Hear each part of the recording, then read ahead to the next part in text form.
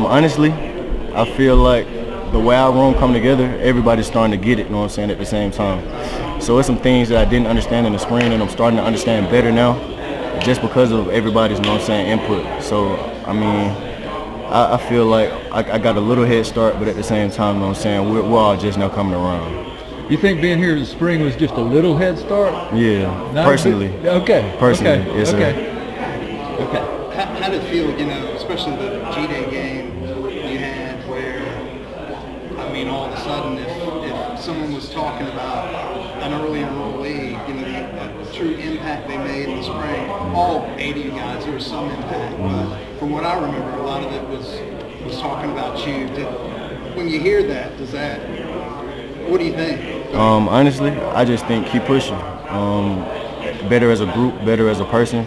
You know what I'm saying? Just keep striving. Sure, i know my coaches have the best interest for me, so I'm just going to continue to do what they tell me and continue to get better. Okay. How's the difference in pace between spring and fall?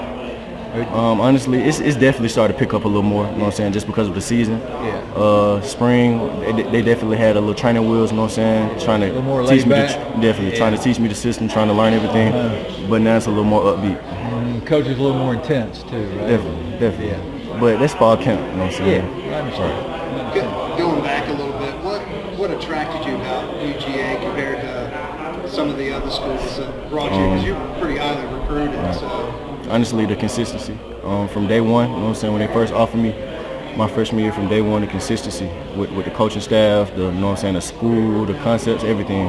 I just love UGA.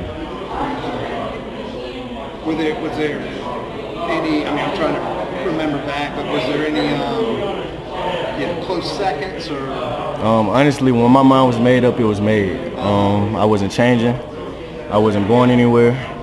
I, I, was, I just fell in love with the school, so when my mind was made, it was made. Conditioning, you uh, you feel like you're in the best condition you've ever been in? Um, actually, yes, I have. They've been pushing us to the limit.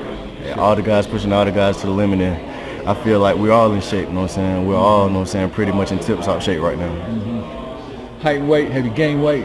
Actually, I've lost. You've lost weight. Yes, sir. Okay. Yes, sir. Was that the plan? Yes, sir.